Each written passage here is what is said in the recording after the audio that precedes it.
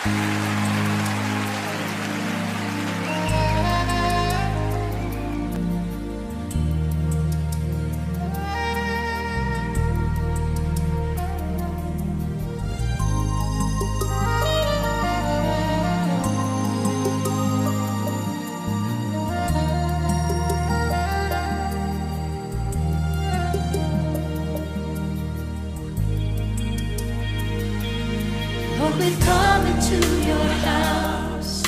we've gathered in your name. It's a privilege to be here. We're so very glad we came. We can sense your holy presence.